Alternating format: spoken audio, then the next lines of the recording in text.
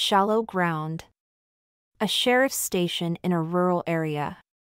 Closes down a year after the unsolved murder of a teenage girl that the sheriff failed to stop. But there's one's last case to settle the books. Marching through the woods, a naked teenage boy, covered in blood. With hell following in his wake.